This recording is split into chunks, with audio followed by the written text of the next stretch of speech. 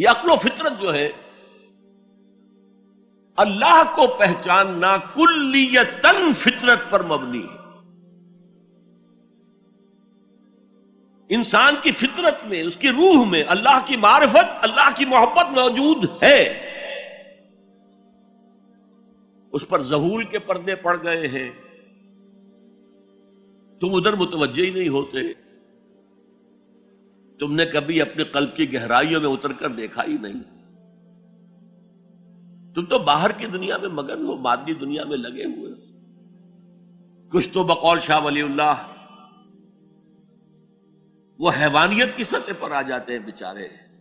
सुबह से शाम तक की कमर तोड़ देने वाली मेहनत के बाद भी उनकी बुनियादी जरूरतें ज़िंदगी की पूरी नहीं होती। वो क्या किसी से लौ लगाएँगे, क्या खुदा को याद करेंगे? कादल फक्र यकूना कुफरा। ये फक्र और एहतियाज और मुफलिसी तो इंसान को कुफर तक पहुँचा देता हजूर की हदीस। तो तुम उधर मुतवजे हो, हमारी तरफ़ मुतवजे नहीं होते। इस कायनात में हर शय अल्लाह की निशानी है। जैसे आपको अपने किसी दोस्त की दी हुई कोई शय देखते ही दोस्त याद आ जाता है।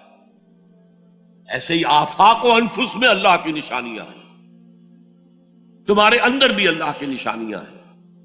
जरा तवज्जो तो करो, आफाक को देखो, खोल, आँख, फलक देख जमी देख, फिजा देख। अफला यंजरूना इलल इबल कैफा खुलकत वैल समाय कैफा रुफियत वैल जिबाल कैफा नुसिबत वैल अर्द कैफा सुतिहत। फजक्किर, इन्नमा क्या ये देखते नहीं, गौर नहीं करते? ऊँट को कैसे पैदा किया गया? कितना अपने माहौल के साथ मुनासबत रखता? सात सात दिन न कुछ खाने को मिले, न पीने के मिले उससे कोई परवाह नहीं। सेहरा लकोदक सेहरा का जहाज़। वो देखते नहीं आसमान कैसे बुलंद कर दिया गया।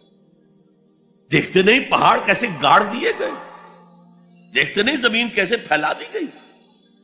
नबी, आप याद दहानी कराइए, ये निशानियों की तरफ़ मुतवजह कर दीजिए।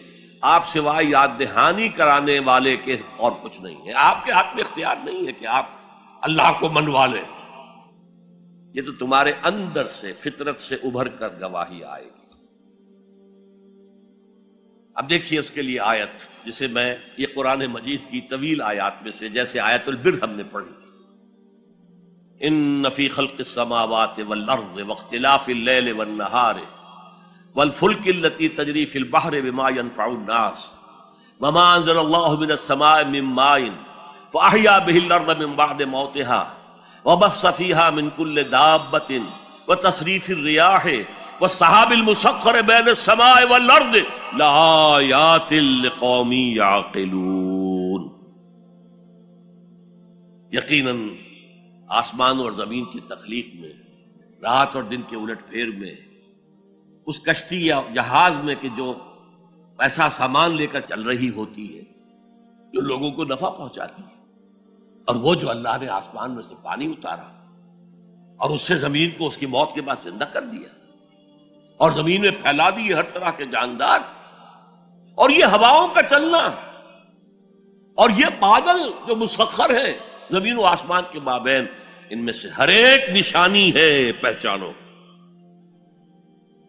क्या मतलब? तुमने किसी मुसविर की तस्वीर देखी? तारीफ़ तस्वीर की करते हो या मुसविर की करते हो? मुसविर का कमाल है, तस्वीर में क्या है?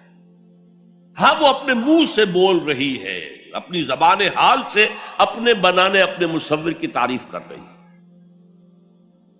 तो कायनात का जर्रा जर्रा, अल्लाह ताला की निशानियों पर है। शेख सादी ने कहा, बड़ा प्यारा शेर है, बरगे दरख्तान सब्ज दर नज़र होशियार। हर वरक दफ्तरस्त अजबार फतेह किरदेगार। ये जो सब्ज दरख्तों के पत्ते हैं, एक निगाह होशियार, जो कि उनकी हकीकत को पहचान सके, उसके नज़दीक हर पत्ता बार फतेह किरदगार का एक बहुत बड़ा दफ्तर है। और आज हमें मालूम है हर पत्ता एक फैक्ट्री है, फोटोसिंथेसिस का अमल उसमें हो रहा है। सूरज की एनर्जी को जज्ब किया जा रहा है। बर्ग दरख्तान सब्ज दर नज़र होशियार, हर वरक दफ्तरस्त, अज मारिफत किरदगार तो जो आयत मैंने आपको सुनाई, उसे मैंने नाम दिया है आयतुल आयात। इतनी आफाकी आयात किसी और आयत में जमा नहीं की गई जितना बड़ा गुलदस्ता गया इन दफीखल के समावत वख्तिलाफ़िल्नहार वलफुल की लती तजरीफिल बहर विमायनफ़ाउन्नास वमाबिन फाहिया बिहिल अर्द बाद मौतिहा वबसफ़ीहा बिन कुल्ल दाब्बतिन व तसरीफ़ रियाह व सहाबिल मुसख्खर बैन समाए वल अर्द लायातिल लिकौमी याक़िलून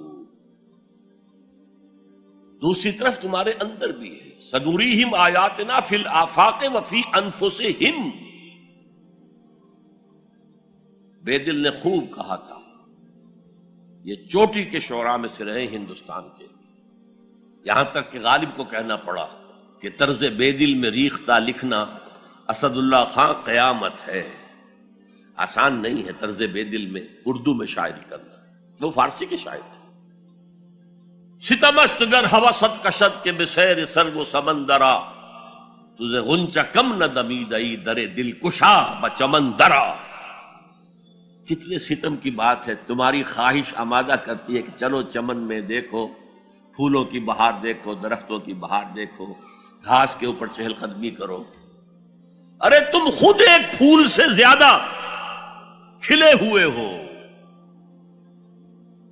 कभी अपने दिल का दरवाज़ा खोलकर, उसमें दाखिल होकर, अपने हुस्न मानवी का मुशाह करो। सितमस्त गर हवा सत का सद के बेसैर सर वो समंदरा तुझे ऊँचा कम न दमी दई दमकता हुआ ऊँचा हो तुम खुद दरे दिल को शाह बचमंदरा आयात इलाहिया अंदर भी मौजूद अच्छा इन आयात के ज़रिए से अल्लाह की पहचान हो गई अल्लाह याद आ गया था अंदर मौजूद अल्लाह की इल्म और मार्फत मौजूद थी पर्दे आ गए थे जहूल था या जैसे एक जगह कहा गया कल्ला बलराना अला कुलूब ही उनके दिलों के ऊपर जो भी बदकारियाँ वो करते रहे हैं, उससे जंग लग गया। हिजाबात आ गए।